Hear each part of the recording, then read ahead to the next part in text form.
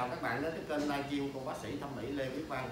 Thì à, bác sĩ vừa thực hiện xong một ca nâng cấp vòng một kết hợp với lại xử trí treo à, sa trễ à, cho một khách hàng đã có à, ba bé rồi.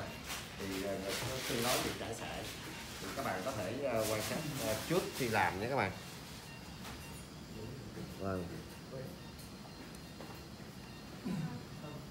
Thì cái ngực này á, thì à, bác sĩ ờ, Văn đã cố gắng làm ờ, không để lại sẹo ờ, đường mỏ neo, nhưng cũng có một vài trường hợp là người sẹo quá hoặc là to thì buộc bác sĩ phải làm đường mỏ neo.